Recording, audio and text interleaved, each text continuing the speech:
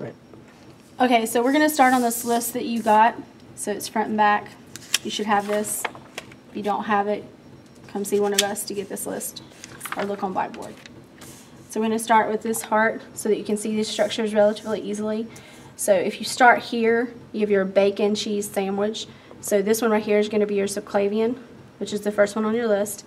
And then you have common carotid. So this is your carotid. And then you have brachiocephalic, which is here. And your brachiocephalic trunk is just going to be where it comes off of the aorta. And then you have the ascending aorta, which is here. Aortic arch, or arch of the aorta. You'll hear it called both of those, is right here. Descending aorta is anywhere where it starts to go down. Ligamentum arteriosum is right here. So you have ductus arteriosus, which allows blood, blood supply in a fetus from the pulmonary trunk to the aorta. So that becomes a ligament known as ligamentum arteriosum, which is right there. That, that one's easy to see.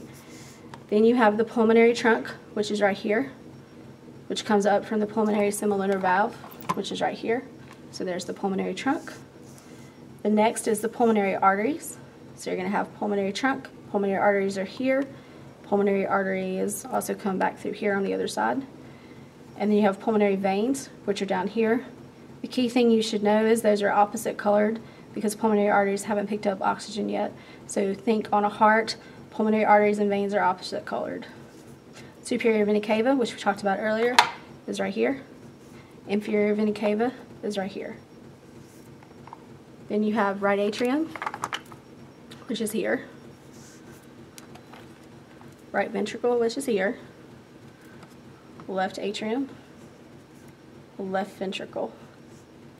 And when you open this up, it's easier to see the interventricular septum, which is here which divides the right and the left side of the heart.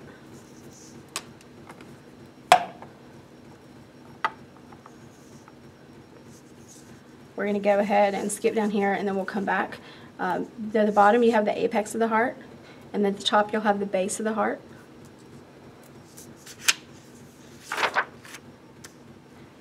Coronary sinus is going to be inside the right atrium.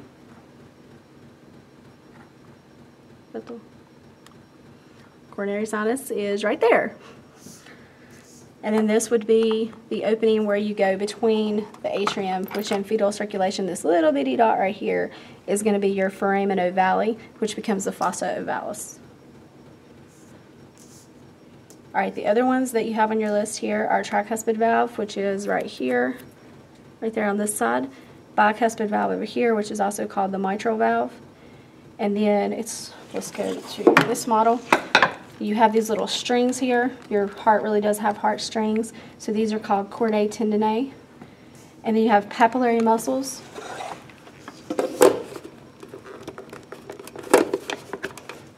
I think you can see it right here. You would have a papillary muscle, which I say is the little knots underneath in the ventricles down here at the bottom. And then you have the pulmonary semilunar valve, which is right here. And then you have the aortic semilunar valve, which is going to be right there.